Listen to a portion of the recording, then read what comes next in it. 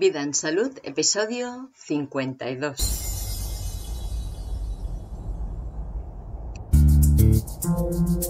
Los trastornos intestinales, primera parte.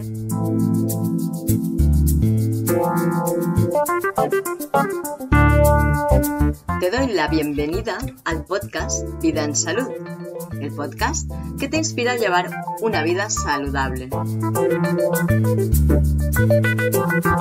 Esta propuesta es mi iniciativa y yo soy Diana Valeria.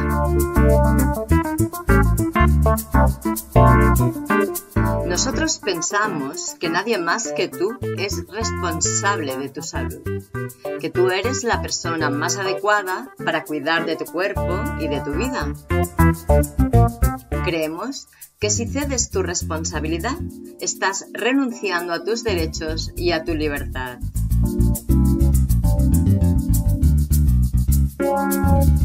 Y es por esto que hemos decidido ofrecerte información, conocimiento e inspiración que te ayuden a poder tomar las decisiones más acertadas sobre tu salud y la de los tuyos.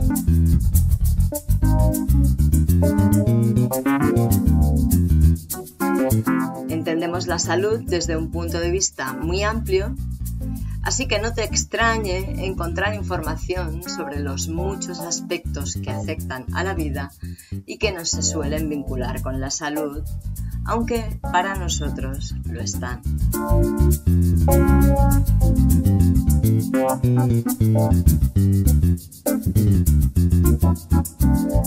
Desde que publiqué el episodio 49 en que hablo de la microbiota asociada a la salud integral del individuo, he estado recibiendo mensajes de personas que padecen problemas intestinales de diversa índole. Me escriben para pedirme consejo por si yo sé algo que ellos todavía ignoran o tengo alguna visión que les pueda ser reveladora. Porque quien padece este tipo de problemas los padece de verdad, con todo el sentido. Además, suele ser algo bastante lento de recuperar y es bastante complicado encontrar la fórmula que consiga recuperar esto. Es muy curioso porque más de una persona me ha explicado lo mismo también, que habían sido diagnosticados de Helicobacter pylori y esto les estaba causando una gastritis, una infección intestinal y tenían vómitos y tenían diarreas. Entonces el médico les recetó un antibiótico y a partir de que empezaron a tomar el antibiótico, el cuadro se agravó muchísimo. Los síntomas se multiplicaron y se añadieron síntomas nuevos. Y esto tiene todo el sentido, porque tratar un trastorno de la microbiota con un producto, con una sustancia, con un activo que va a destruirla, que va a matar a los microorganismos, a las bacterias que viven en ella y que hacen todo su trabajo, pues puede salir bien a veces, pero en muchos casos seguramente tiene todos los números de que vaya a salir mal. Entonces, bueno, creo que es imperante que hablemos de este tipo de trastornos que además están muy generalizados porque suele pasar que en algún momento pues tienes diarrea o tienes ganas de vomitar o te sienta mal la comida y tienes alergias también alimentarias, intolerancias, Puedes tener gases también. Pienso que es importante que empecemos a hablar de esto. Y yo creo que es muy probable que cualquiera de las personas que me estáis escuchando tenga un desequilibrio en la microbiota. Y en este episodio vas a saber un poquito por qué. esta es la primera parte de una serie de episodios que voy a dedicar al conocimiento de la microbiota. Este lo he titulado Trastornos intestinales para que quien tenga trastornos intestinales sepa que aquí encontrará información útil. Pero no solo vamos a hablar de trastornos intestinales, vamos a hablar en, en general de la microbiota todavía. Si te acuerdas, no sé si lo escuchaste, pero eh, tengo un episodio anterior que se titula Microbiota y Salud Integral, el episodio 49. Te recomiendo que lo escuches previamente. Te recuerdo que tenemos el grupo de Facebook para hacer consultas si lo necesitas y que puedes enviarme un email a vidaensalud.dianavaleria.es si lo necesitas también, si no te sirve el grupo, por lo que sea. Bueno, pues empecemos. Cuando estamos hablando de trastornos intestinales, nos referimos, por ejemplo, a gastritis, enteritis, colon irritable, intestino irritable, intestino permeable, enfermedad de Crohn, reflujos, acidez, úlceras gástricas, digestiones difíciles o pesadas, dolor abdominal o del vientre, diarrea, estreñimiento, gases, incontinencia fecal, distensión abdominal, problemas al tragar, dificultades para la alimentación del tipo me gustan solo algunos alimentos y pocos o me sientan mal muchos, las alergias, intolerancias, como he dicho, olor muy ácido en las heces, heces hediondas, o sea, un olor muy desagradable, nauseabundo, colitis, enteritis, o diagnóstico de algún tipo de infección por bacterias, como es el caso que he explicado antes de la Escherichia coli. No, era Helicobacter pylori. O Escherichia coli también podría ser. Y también te va a servir esta información que vas a encontrar en este episodio si tienes diagnóstico de invasión por parásitos, anemia o falta de cualquier nutriente en la sangre ganancia de peso injustificada, pérdida de peso injustificada, baja inmunidad, o sea, infecciones recurrentes, resfriados, gripes, etc., insomnio, mala memoria, baja capacidad de concentración, trastornos de la alimentación, como por ejemplo bulimia o anorexia, depresión, baja autoestima, dificultades de comprensión, Alzheimer, Parkinson, síndrome de Turó, TDAH o el síndrome este de baja atención, de falta de atención, de concentración, esclerosis, dolores articulares, problemas cutáneos, inflamaciones, donde sea, que no sean por un golpe en principio o por un traumatismo, anginas o sinusitis recurrentes o crónicas, este tipo de cosas también y en realidad he intentado agrupar pues mm, enfermedades o síntomas que están relacionados con un trastorno de la microbiota, pero son solo una parte en realidad. Y además, en la investigación que se está llevando a cabo desde hace pocos años en realidad, cada vez se van encontrando más problemas asociados al trastorno de la microbiota. Y todos estos trastornos en muchos casos, por no decir prácticamente todos o una gran mayoría, los podríamos resolver mejorando la salud de nuestro intestino sencillamente. Entonces, para realmente poder aportarte algo útil, si tienes un problema intestinal o cualquier otro de estos que he listado, voy a empezar a hablarte de lo primero que necesitas saber, que es cómo es tu sistema digestivo. Si comprendes esto, podrás establecer una relación empática con tu sistema digestivo y entender mucho mejor sus mensajes. Así que vamos a describir un poco cómo es el intestino. Seguramente ya lo sabes, pero vamos a recordarlo que el intestino es un órgano tubular hueco por dentro y es muy muy largo. Este tubo además se repliega haciendo curvas como si fuera una carretera que sube a un puerto de montaña, ¿no? Que se va empinando para arriba o va bajando para abajo, pero que va haciendo curvas. Y esto es así, por un lado, para acomodarse al tamaño de la cavidad, o sea, al espacio que tiene la cavidad abdominal, y por otro, para extenderse y, y tener la mayor superficie posible. Porque sobre la superficie de la piel interior del intestino se da la absorción de los nutrientes los nutrientes que provienen de los alimentos y que han de abastecernos de la energía que necesitamos para mantener nuestra vida en las mejores condiciones que podamos.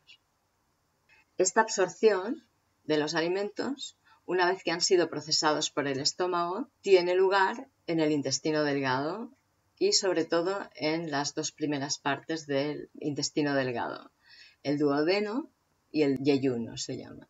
Entonces, para aumentar todavía más su superficie y poder abastecer todas las demandas metabólicas que provienen de la alimentación celular, todo lo que reclaman las células, toda la energía y los nutrientes que reclaman las células, aún se repliega más en sí mismo, formando pequeñas protuberancias sobre la piel en forma de dedo y se llaman vellosidades y esto es así para aumentar todavía más la superficie de absorción. Yo he oído decir a algún experto en la materia que si desplegáramos el epitelio del intestino sano de un adulto, tendría la extensión de dos canchas de tenis profesionales, por lo menos. Estas vellosidades intestinales están revestidas por unas células llamadas enterocitos que son quienes absorben los alimentos para pasarlos al torrente sanguíneo y de esta manera alimentarnos. Toda la superficie de la piel interna del intestino forma como un entramado de crestas y colinas y valles y sobre este paisaje viven los enterocitos. Los enterocitos están inmersos en un proceso de renovación constante que está regulado por las bacterias simbióticas que también viven en la superficie del intestino. Y esto, estas bacterias, este, esta colonia de diferentes bacterias y otros microorganismos, es lo que llamamos la microbiota. Te recuerdo de nuevo que en el episodio 49 tienes más información sobre la microbiota. Sigamos. Si en el intestino hay pocas bacterias, hay pocas bacterias simbióticas, hay pocos microorganismos. Los enterocitos no reciben suficiente producción y se desgastan antes de llegar a ser reemplazados por los enterocitos nuevos. Entonces se hacen incapaces de cumplir las funciones de descomposición y absorción de los nutrientes e incluso dicen que llegan a volverse cancerígenos. Estas bacterias que habitan en el intestino son la clave para que el intestino funcione correctamente y cumpla su cometido. Y su cometido es proteger nuestro organismo frente a invasiones externas. O sea, no permiten que microbios oportunistas que pueden entrar por la boca o por la nariz aniden en el intestino descomponen los macronutrientes procedentes de los alimentos en los micronutrientes que pueden aprovechar las células y además ayudan a la asimilación de estos micronutrientes que están descomponiendo. Y además sintetizan sustancias tan imprescindibles como vitaminas y proteínas, neurotransmisores, hormonas y también hacen labores de regulación muy importantes para nuestro organismo, como mantener el ambiente limpio de patógenos, de microorganismos invasores que nos dañan, regulan las sensaciones de saciedad o de tener necesidad de nutrientes, el hambre, regulan la permeabilidad de las paredes del intestino, es decir, crean una capa, un film, sobre el epitelio intestinal, que es la piel del intestino. Esta capa aísla las paredes del intestino del interior del cuerpo Es como un revestimiento que regula qué se filtra hacia dentro del organismo y qué sigue su viaje hacia el colon para abajo para ser expulsado. Esta capa filtra las sustancias por tamaño. O sea, las bacterias forman el film uniéndose unas a otras, como si se dieran la mano, formando como una malla. Y esta malla solo deja espacios de el diámetro que permite el paso de los micronutrientes que necesita la célula, que son los únicos que necesitamos en nuestro torrente sanguíneo. Cualquier otra cosa sería una toxina. Entonces, cualquier molécula de mayor tamaño que un micronutriente, por ejemplo, pues los macronutrientes, no puede pasar. Entonces se queda dentro del tubo y sigue hacia para abajo hasta que lo expulsamos y lo dejamos en el váter. Si las bacterias que forman el film protector son pocas, no podrán enlazarse suficiente firmemente y tampoco podrán acercarse lo suficiente y los espacios que dejarán entre ellas tendrán un diámetro mayor al de las moléculas simples. Entonces, en espacios más grandes se les colarán hacia el organismo moléculas más complejas, de mayor tamaño, y como ya he dicho, son tóxicas dentro de nuestro organismo. Son las sustancias que deberíamos expulsar directamente. Y cuando el médico te dice tienes el intestino permeable, se refiere a esto que te acabo de explicar. Si tenemos un número de estas bacterias menor al necesario, tiene como consecuencia también que todas las funciones que ellas realizan se quedan sin hacer o se hacen a medias. Así que, junto con el intestino permeable, pueden coexistir muchos otros diagnósticos. Igual que con cualquiera de los otros diagnósticos, coexiste o puede coexistir un intestino permeable. Porque cumplen tantas funciones estas bacterias que cualquier carencia que ellas tengan va a ser muy representativa en nuestro organismo. Y lo que puede estar pasando es que las hormonas que son sintetizadas en la microbiota no sean sintetizadas y entonces se producirán desequilibrios hormonales y tendrás problemas endocrinos, te harán diagnósticos de problemas de tiroides, etcétera, etcétera, de diferentes tipos. Que las vitaminas y proteínas que son sintetizadas por la microbiota no serán suministradas cuando sean necesarias, generando estados carenciales que pueden tener y tienen mayores consecuencias luego, que las bacterias del intestino no mantendrán a raya a los microbios provenientes del exterior, no estarán protegiéndonos y no estarán avisando o estimulando al sistema inmunitario para que se ponga en acción. Esto tendrá como consecuencia pues que tengas diferentes tipos de infecciones que se resolverán con dificultad, o sea que te durarán, te costarán de curar y además se irán repitiendo en el tiempo, tendrás infecciones recurrentes, se dice, e incluso podrás llegar a tener un diagnóstico de una infección crónica, que no son pocos los diagnósticos de sinusitis crónicas, amigdalitis crónicas. También proliferarán en el sistema digestivo bacterias y otros tipos de microorganismos que vendrán a ocupar el espacio que deja libre las bacterias que deberían estar ahí. Estos microorganismos tal vez no generen infecciones, pero no nos aportarán mayor beneficio estarán ahí alimentándose de lo que nosotros comamos. O sea, muchas veces incluso las apetencias alimentarias no son apetencias de tu propio organismo, sino son apetencias de estos microorganismos oportunistas que se han establecido en tu microbiota y que, aunque no te aportan nada, tienen tu intestino como su casa y allí les das tú de comer. O sea, no te aporta nada, pero generan problemas. Excretan sustancias tóxicas para nosotros y gases, generan gases, respiran también. Entonces producen inflamaciones, gases, cólicos o estreñimiento también.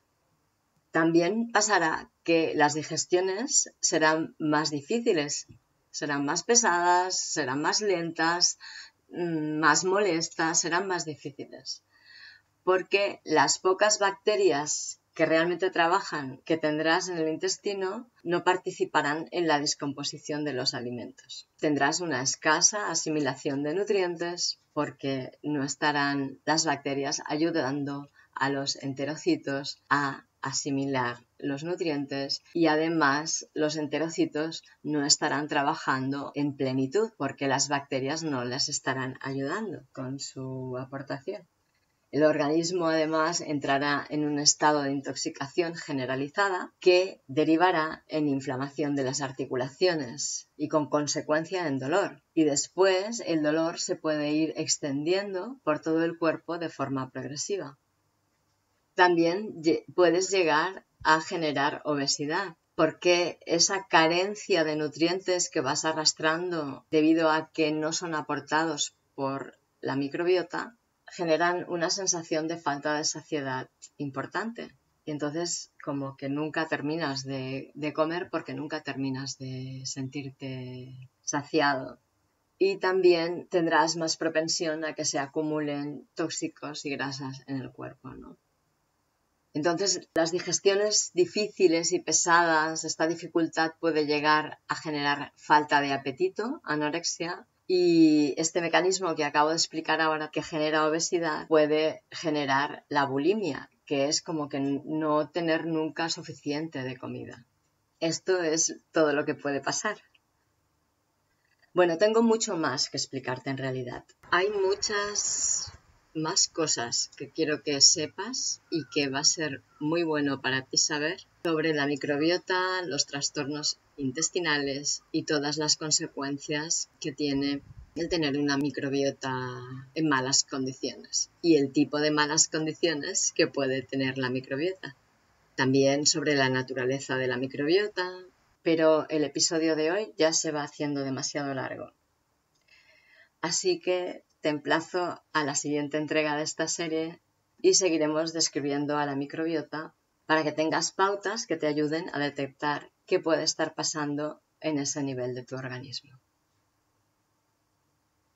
Te dejo los enlaces de todo lo que he estado eh, hablando en las notas del programa, vidaensalud.es barra podcast barra 52 y espero que tengas muy en cuenta que tu microbiota te hace única o único y que mantener un buen estado de salud de tu microbiota es tal vez de las mejores cosas que puedes hacer por ti misma. Es la mejor forma en que puedes amarte.